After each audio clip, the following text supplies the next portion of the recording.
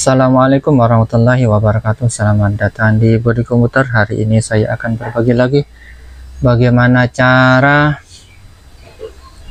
Install ulang Windows 10 pada sebuah laptop Aspire 5 ya. Aspire 5 Tipe lengkapnya ada di bawah. Ini sudah saya tulis ya. Aspire 5 A4 A5, A514 strip 54 ya. 33 WF nah ini tipe laptopnya ya yang ada di bawah di bawah laptop ini ya.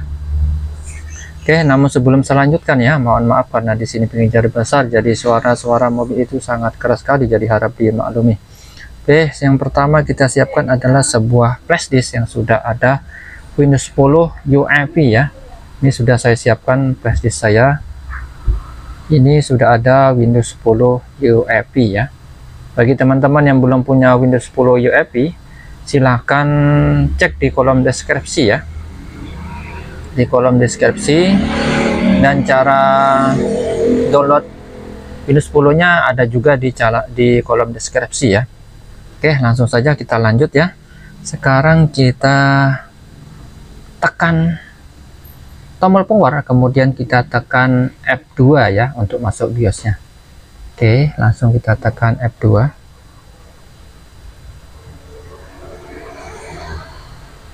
tekan terus ya F2 sampai masuk ke BIOS. Oke ini sudah masuk BIOS. Nah sekarang ini yang terblok di informasi ya. Information nah kita geser ke sini ya. Ke kanan gunakan ini ya tombol yang ada kalau kita geser ke kanan gunakan panah kanan. Geser ke kiri gunakan panah kiri. Untuk turun naik gunakan panah atas bawah ini ya. Oke sekarang kita setting dulu biosnya ya. Kita geser dulu. Nah ini di menu main kita ubah di sini ya. Ini yang terblok sistem time ya.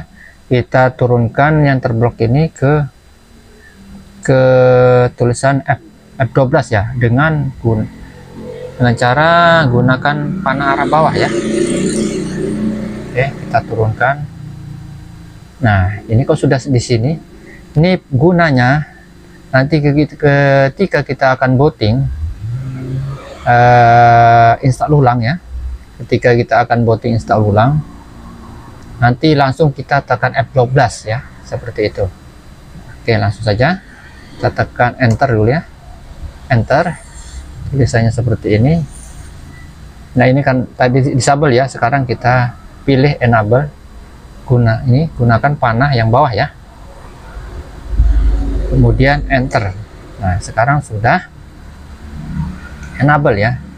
F12 enable. Nah ini nanti kalau sudah aktif ini begitu nanti kita akan booting gunakan F12 nah tanpa menyeting di menu boot ini ya di menu boot sini. Kita langsung saja gunakan tombol F12 saja ya. Nah ini pastikan ini tulisannya UEFI ya. Pokoknya laptop sekarang kebanyakan UEFI ya. Yang terbaru sekarang harus UEFI oke langsung saja kita simpan. Gunakan F10 ya. F10 untuk menyimpan. Hasil settingan kita tadi ya. Nah baru kita tekan F12 ya untuk booting ke flash disk ya. F12 tekan terus. F12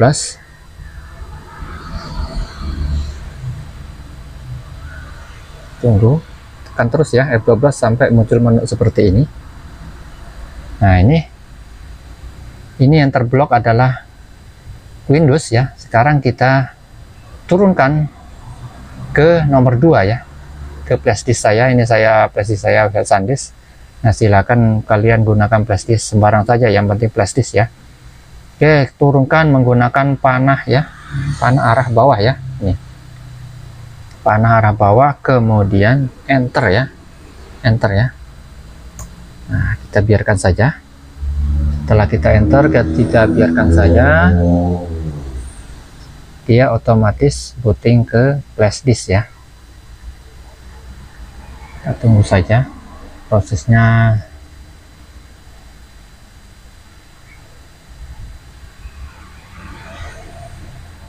Oke sudah muncul. Nah sekarang ini kan keyboardnya tidak berfungsi ya. Nah, apa namanya? Touchpad ya touchpadnya ini tidak berfungsi. Jadi gunakan keyboard yang ada di sini ya keyboard yang ada di sini kita tanpa menggunakan mouse ya. Gunakan tab ya. Tab ini. Tetap tekan tab sekali. Tekan lagi sekali lagi. Tekan lagi sekali lagi. Nah dia akan terblok ke next ini ya. Nah sekarang kita setelah terblok di next ini kita enter ya. Kita enter sudah muncul seperti ini kemudian enter lagi satu kali oke kita tunggu prosesnya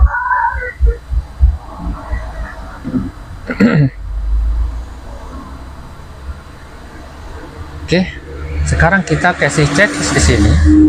Nah, untuk menceklis di sini gunakan spasi ya, gunakan spasi.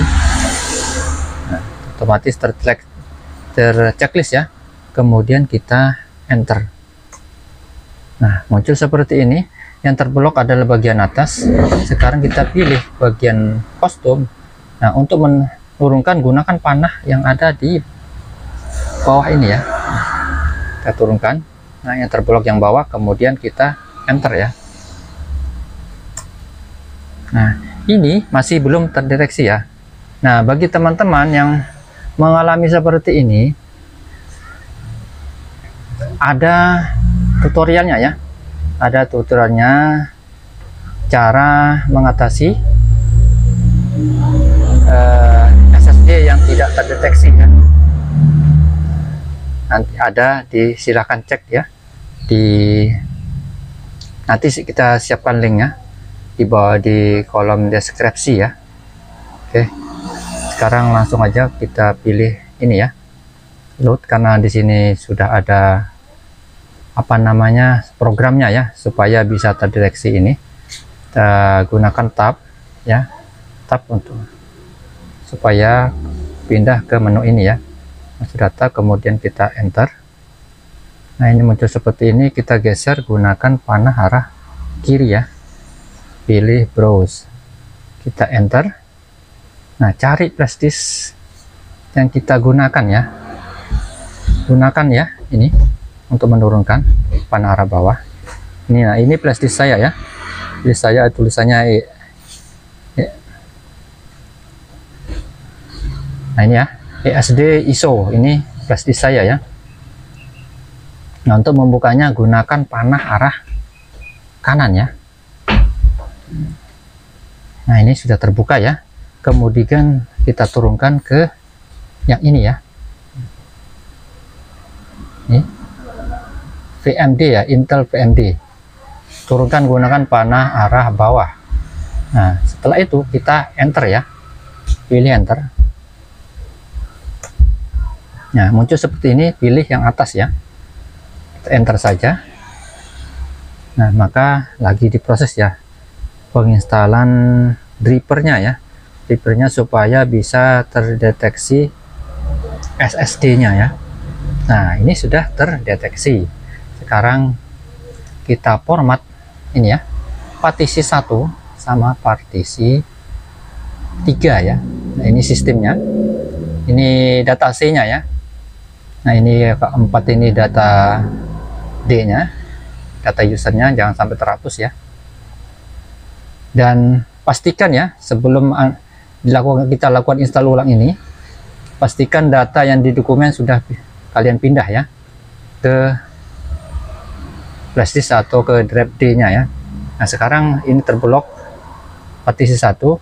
Untuk menggeser ke format sini gunakan ini ya tab ya. Kita tekan tabnya. Nah itu pindahnya dua tiga. Nah ini sudah terblok ya. Terblok formatnya kemudian kita enter iya untuk memilih oke OK, gunakan panah kiri ya. Panah kiri. Ya baru kita enter. Nah partisi satu sudah selesai di format. Kemudian partisi ke- tiga gunakan panah yang bawah ya untuk menurunkan. Nah ini sudah terblok nomor tiganya. Kemudian kita gunakan tab untuk menggeser ke menu format ya satu dua tiga. Oke sudah terblok ya. Kemudian kita enter. Kemudian pilih panah kiri. Kemudian enter. Oke sudah selesai terformat partisi tiganya. Kemudian gunakan tab lagi ya. Gunakan tab lagi untuk memblok nextnya ini ya. Satu dua tiga empat lima. Nah lima ketika hitungan lima dia terblok ya nextnya. Baru kita tekan enter ya. Nah ini proses sudah instalasi sudah berjalan ya. Kita tunggu saja ini cukup memakan waktu sekitar 10 menitan atau 15 menit ya. Itu saja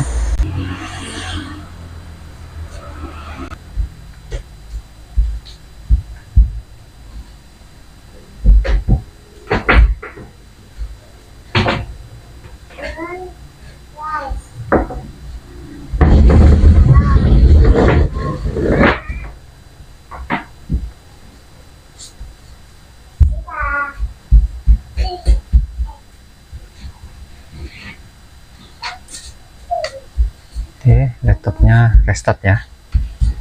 Tunggu saja.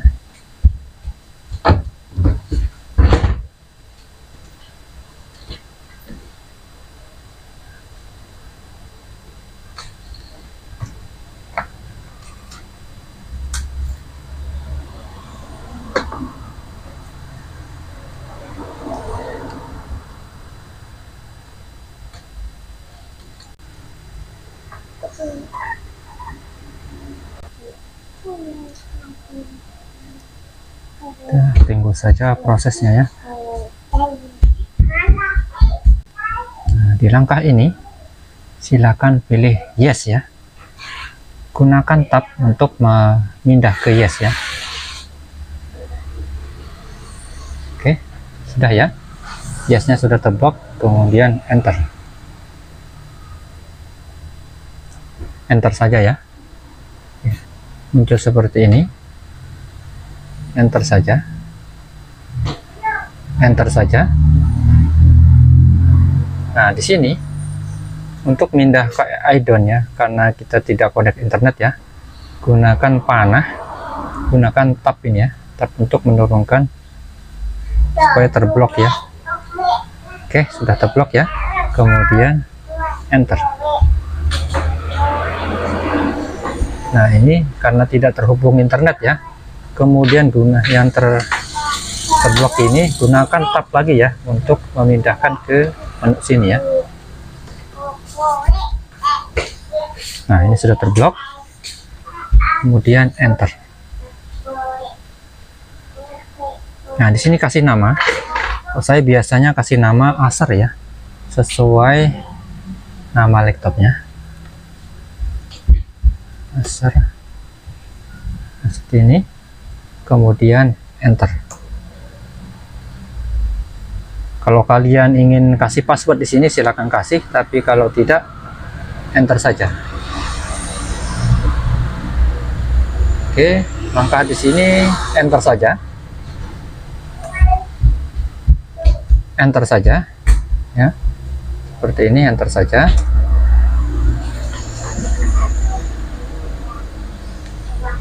Muncul seperti ini enter saja. Oke, kita tunggu. Ini proses finishing ya. Hampir selesai.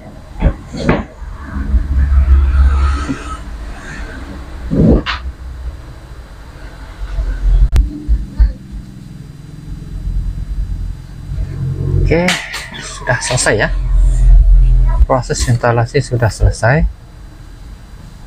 Oke, demikian ya. Semoga bermanfaat. Demikian cara install ulang Windows 10 pada sebuah laptop Aspire 5. A5 A514 54 semoga bermanfaat wabillahi taufiq wal hidayah. Wassalamualaikum warahmatullahi wabarakatuh.